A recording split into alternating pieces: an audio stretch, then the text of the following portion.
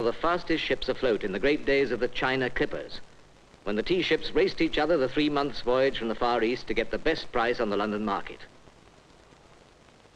There's a royal palace at Greenwich.